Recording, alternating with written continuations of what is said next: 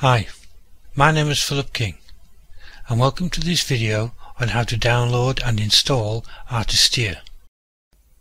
To download Artisteer you can either read my Artisteer review and, presuming you would like to try the software, click on one of the links in the article or you can simply click on the link below this video. Either way, you'll be taken to the official Artisteer webpage where you can download the application. Once at the Artisteer welcome page, read the information available and, when you're ready, take a moment or two to watch a demo of the application. The demo only takes a few minutes and is well worth watching.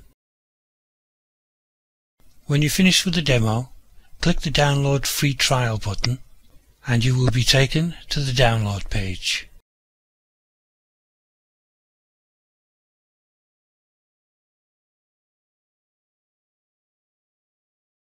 To start the download, click the Can be downloaded by clicking here link. When the dialog box opens, click the Save File button, enter a file name and select where you want to save the file. I'm just going to save the file on the desktop. When the file has finished downloading, go to the desktop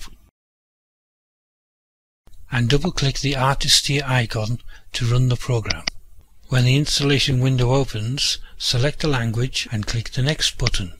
Read the welcome messages and click the Next button. Now you have to read the usual licensing agreement.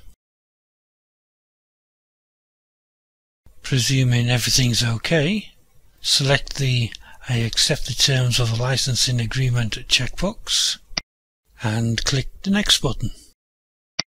Select the destination directory for the program I suggest you accept the default and again click the next button. Select the shortcut settings you require.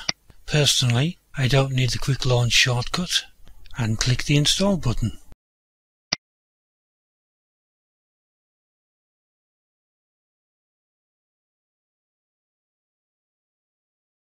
Just sit back and relax while the software is installed and configured. Unfortunately, it's a fairly long wait.